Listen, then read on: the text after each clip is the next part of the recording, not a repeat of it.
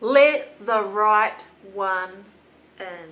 Of course, looking at the movie, you can probably tell what it's going to be. This is a horror movie. Yes, that's right, I'm reviewing a horror movie. Now, for those of you that know me, I don't watch horrors, but I had no idea that this was classed as a horror. Thought it would be a psychological thriller. Boy, was I wrong. Let me tell you what this movie is all about, and you can decide whether or not you want to watch it. This girl is a vampire. There is another young man, young boy that is in the movie as well. Because I owe it to the movie to explain itself to you. But I will give you five reasons why I like the movie. So number one, this girl here is so talented. I'm excited for her future.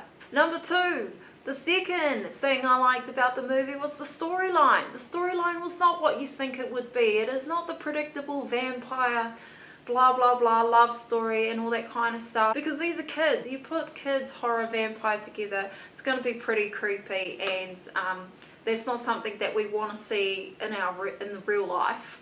But it pulls it off. This movie does it justice. And no other movie has done anything like that without it being like too far-fetched like ugh. The third thing that I liked about it was the fact that it was set in snow and I know it's my personal preference. I live in New Zealand, um, the beach is just three streets over is set in Sweden and um, this girl lived in an apartment. Now if you're in Sweden don't ever look up into the apartments that look like that because you might see a little girl looking down at you through the little peepholes in her box covered windows. But hey just be encouraged to know that you're going to be okay as long as you're in the daylight.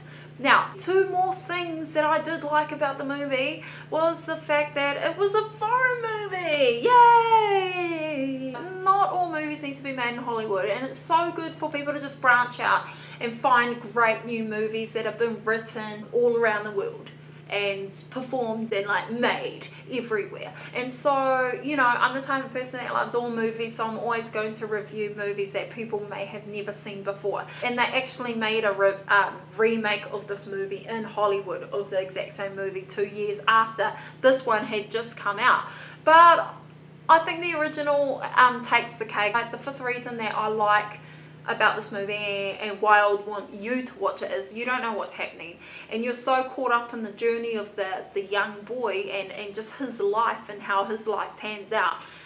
You, you see her coming in when she needs to and he gets this confidence in himself to just you know to be who he wants to be. Please cut to the chase here. I did not not like anything about the movie. I loved the movie. It surprised me. I'm happy to have watched it to know that someone can think of portraying you know vampires in an innocent but scary kind of way. It gives me hope for the future of of the arts and of the entertainment world that we can step out of our own boxes and think bigger than what we've already seen and seen other people do. So we're not mimicking what they do. This movie it is let's give it the rating 4.5 which is pretty high but i think it deserves every single point for that. I hope that you get to see this. I don't recommend it for anyone under 13, but it is up to you. Don't let your children watch it. They'll just be scared for the next few years. Let me know what you think because I really want to know what you thought about this movie. Please comment below, share with me your rating or what you would have given it. If not the same as mine, don't forget to also subscribe and thumbs up. It was Movie 101, Keeping Movie Reviews, simple and fun.